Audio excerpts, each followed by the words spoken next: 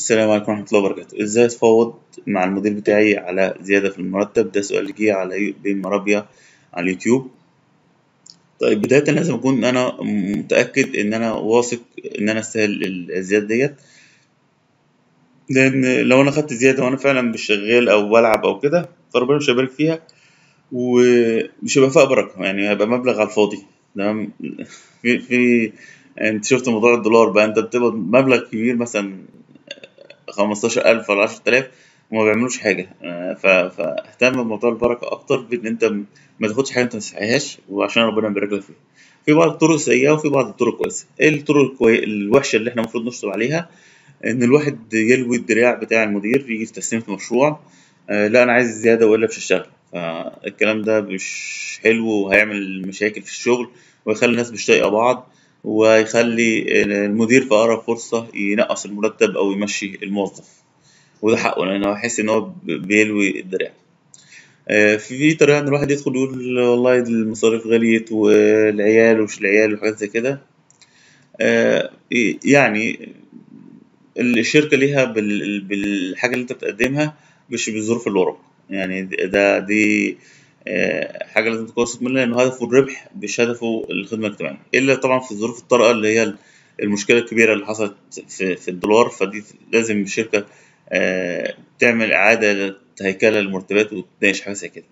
طيب خلينا نتكلم بقى آه، الطريقة كويسة، الطريقة كويسة إن أنا أنتهز وقت كويس أقدر أتكلم فيه مع المدير ما يكونش يفكر في 500 حاجة. وممكن في في. في, لو في تسليمة ب- بلفت انتباهه مثلا إن أنا هتكلم معاك في حاجة من غير ما, أفتح الموضوع ومن غير ما أعمل بس هو يبقى عارف إن أنا مثلا تعبان معاه في الشغل وكده و... آه، بتدخل وتبدأ تشرح ال- إيه اللي أنت بتقدمه للشركة إيه اللي أنت بقالك فترة كبيرة ما زدتش إن المرتبات مستواها قد إيه بره لو عندك أوفر ده بيزود آه، فرصتك تمام؟ آه، يعني أنا باخد X ومعروض عليا 2 X تمام؟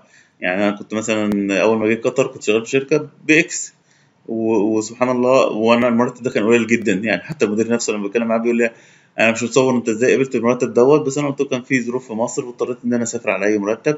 ف وجالي أول ما جيت جالي عرض في قطر بضعف المرتب بس ما حدش هيوافق عليه فجالي offer تاني من دولة تانية غير قطر. أقدر اتفاوض عليه. فما دام معاك offer ده بي- بيقوي الفرصة بتاعتك لأن بحس إن ده مش كلام نظري ده هو فعلا السوق عايز كده. وأكيد هو عارف ال- الأسعار فأنت لازم تشوف ال- الأسعار حواليك قد إيه. تمام؟ متوسط المرتبات في الشركات اللي حواليكوا قد إيه. و...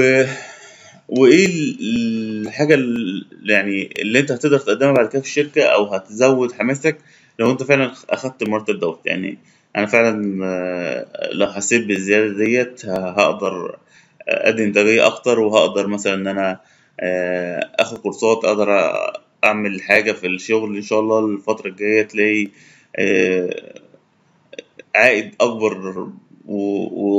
وإتقان أفضل للشغل وشغل أفضل وأنا أقدر أعمل كذا وأعمل كذا وأعمل كذا. يعني آه حسسه إن إن أنت قلبك على الشركة وإن أنت هتعمل كل اللي تقدر عليه في آه، تحسين الشغل وإن ده هيديك دافع ويديك طاقة إن هو يحس إن فيه آه، تقدير آه، من الشركة.